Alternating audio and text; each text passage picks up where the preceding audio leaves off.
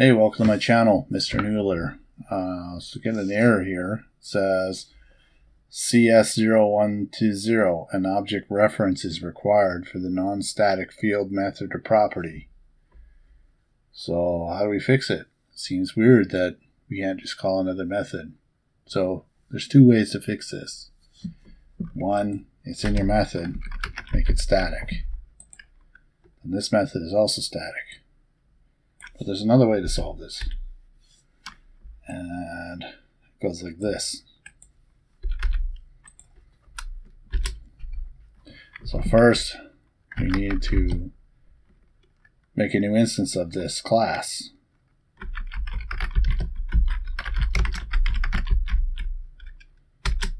And then we can call the method.